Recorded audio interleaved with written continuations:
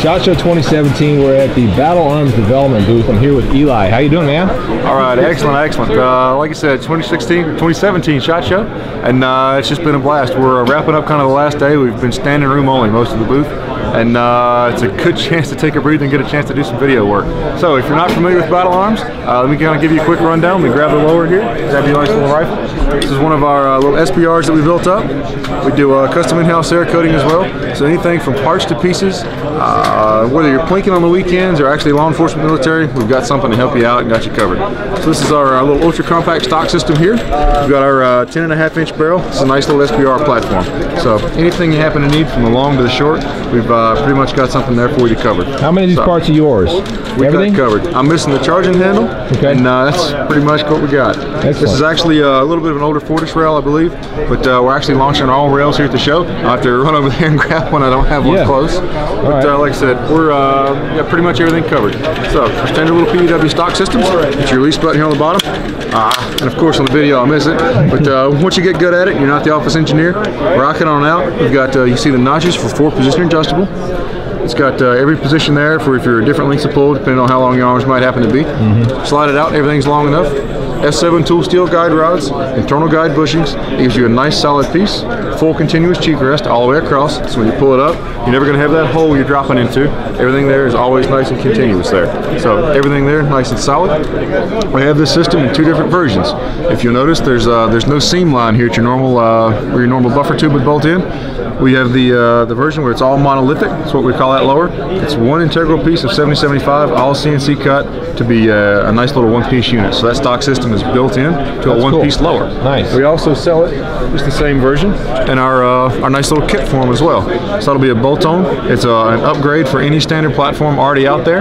Any mil-spec platform, bolt it right on and go. We also have it for uh, any kind. If you're doing a new build, you can also run that route as well. Now let me ask you this. I know folks out there can Google all the prices and stuff, but you know, Oh, you yeah. know any of them offhand? Uh, off the top of your Like I said, everything there we got online. Our uh, vert buffer system, it actually comes with our uh, proprietary buffer system. That's what allows us to get that short. So we can run any standard mil-spec carrier here. We do all the magic with our little uh, proprietary buffer. It's a two-stage design. Uh, it comes with the kit, whether you're buying it just as a lower or as a both-on kit here.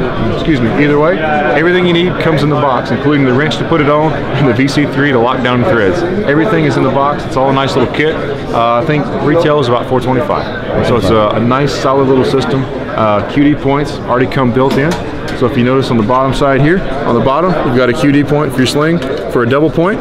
If you're a single point guy, it's kind of hard to see there. We've got a single point QD mount right there on the bottom. Oh, okay, I see it. So no matter what you're going to do, we've got a, a nice solid little option there. And we try to think as far as battle arms, always working down through. We've got tons of different people out there in the world that use our products. Like I said, whether you're somebody out playing like the weekend on like I do, or using this for tools and daily things. So any way you do it, we've got something for you there. Now, we, there's one thing that I was pretty impressive when I first walked out, and that was the uh, uh.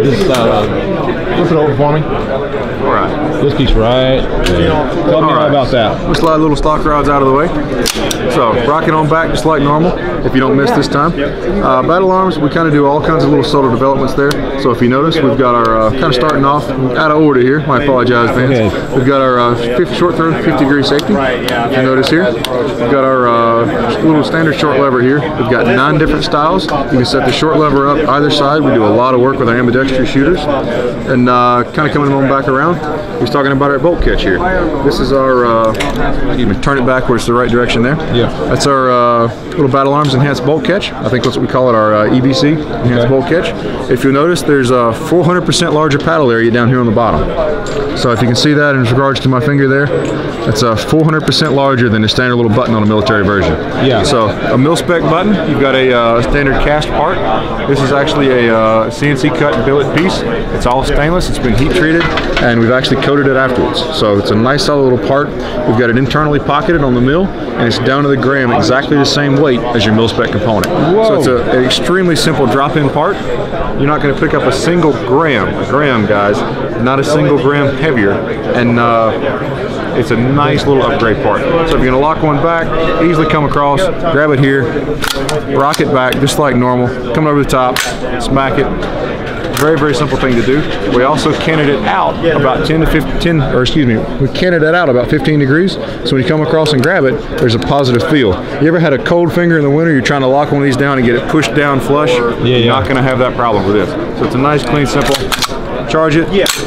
Flip it and go. I absolutely love that piece. man. Do you know what it goes for? Got to buy that Oh, one like I piece. said, I'm the yeah. machinist. I'm a little bit rough on that side. Okay. Uh, I'll beg you there to run online. I think it's uh, I think it's less than like 30 bucks. So Okay. double check. Don't hold me too quite on that one, but it's a nice, nice, solid little part. Okay, cool. Uh, everything we do, we kind of take to that same level.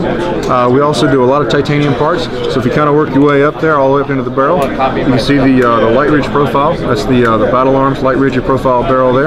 A titanium gas block. We have them in a, uh, a black ion PVD coating. We also do them in a raw stainless for you folks that might like the uh, the shiny titanium look.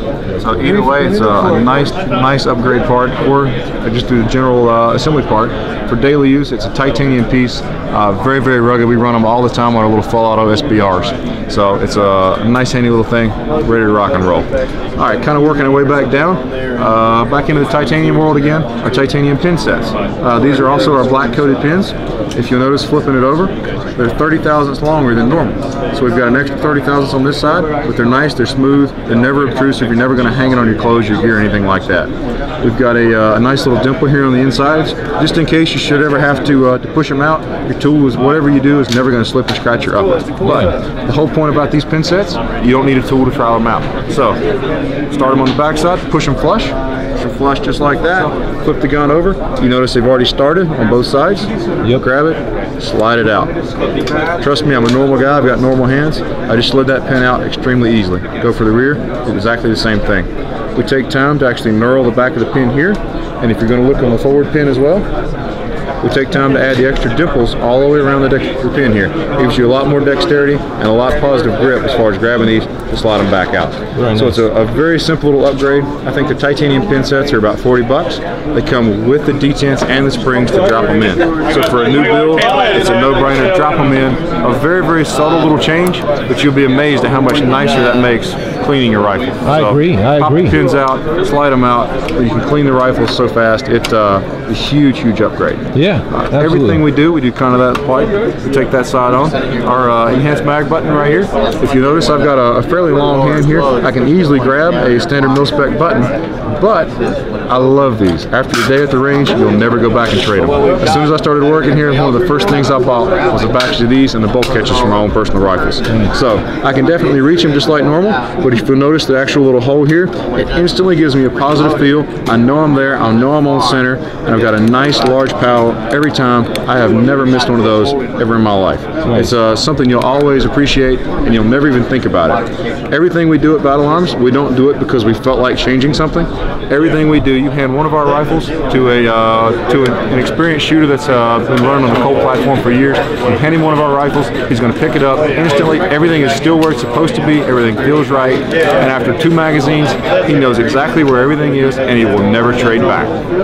We don't do stuff just because we wanted to. We do things for a slight little ergonomic or slight enhancement. Uh, every single part we run, we run at the same kind of level there. I love so, it. Back onto our little uh, buffer system here. If you'll notice, we uh, we have a very, very short and compact system. So I've still got the rear pin out. Kind of roll my hand right over top of the buffer tube. Slide the system open. If you'll notice, our uh, right here is our little buffer. That's our little proprietary patented Battle Arms buffer. And if you'll notice, it protrudes just a little bit farther than normal. What that does is it allows the center pin to meet up and uh, actually protrude and align itself on the carrier. So as soon as I close this down, it'll depress just a smidge. I can see it come down. It'll pop in, and now that buffer is perfectly lined up in the back of the carrier. Keep everything dead, true, and smooth. So you get nice, nice alignment and a very nice cycle every single time. Wow. The dual spring system, uh, you'll feel it when you charge the rifle.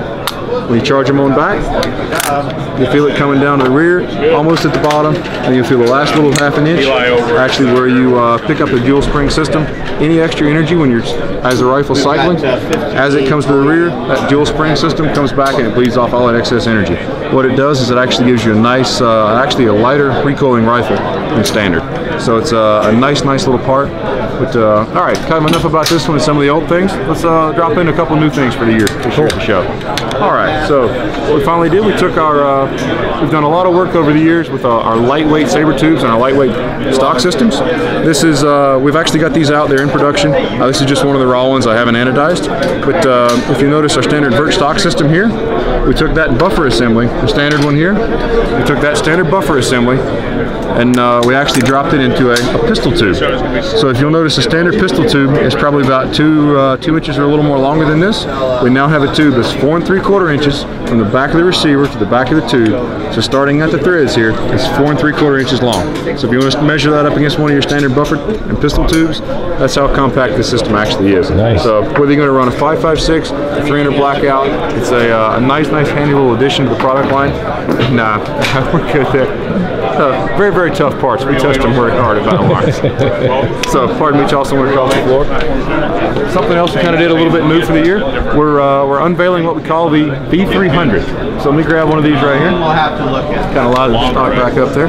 All right, this one we actually call for uh, V300. So if you're looking down at the serial number itself, you'll notice it says V300 itself. And uh, working down through, we're kind of doing this as a platform.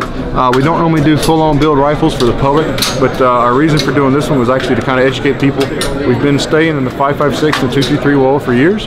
Uh, we've done a lot, a lot of work in the R&D program over the last six months and the last year and a half even, uh, working out in the newer things. So this one right here we're unveiling is as a 300 blackout. It's a seven and a half inch barrel, 300 blackout. It's got our uh, ultra short PDW stock system on it. Uh, we build these all the time, suppressed and unsuppressed. We just kind of wanted to get it out to the public and show that we are working in other calibers. We had our uh, 9 millimeter rifles uh, for the Colt mags out at range day. We have got the 9 mil with the oh good grief uh, the Glock style magazines. Uh, we've got those in R&D. We're continually digging forward and moving very, very rapidly in that. Uh, we haven't unleashed those quite yet. We've got a lot more testing and we want to do on those before we do so. We want before we drop anything, it's got to be perfect. So we're very, very happy with the results we've seen. We just got to have more time and more fun days at the range. So so far everything has been excellent. But uh, I've got to have another couple few weeks of really, really fun days out at the range. We'll get everything tested up and get that out to you guys just as soon as possible. Well, good for you, Eli. So, oh yeah, I'm jealous. I've, I've got a few other people in the in the business. It's uh, whenever it's range day, everybody's hand goes up. It's always a blast. Uh, testing these rifles is a lot of fun. Uh, they're very, very nice platforms. Like I said again, whether you're playing with them or using them every day, it's a nice platform. Very, very well shooting, and it doesn't matter what you're working with. The 300s have actually kind of been uh, slowly becoming a little bit of a shot favorite, just because we can shoot those big, heavy bullets. We've got a lot of penetration power. Uh, we do a lot of work, like I said, with law enforcement, military. Uh, we do a lot of the select fire versions. Uh, whatever you might happen to need, give us a yell. We can definitely fix you up. Nice. Well, whether we're talking about complete guns or simply components, uh, or not simply components, because they're quite quite different and quite cool. I'm very impressed with Battle Arms development. I, want, I definitely want to pick up a few components of you guys this year. And thank you so much, Eli, for taking us through that uh, that little tour. I hope that was uh, answered every question you might have. If you got any more, feel free to uh, shoot us an email, contact us at the shop. Always be more than happy to help you out in any way we possibly can. So, uh, good seeing you. Appreciate the help. All right, we are at SHOT Show 2017, Battle Arms Development.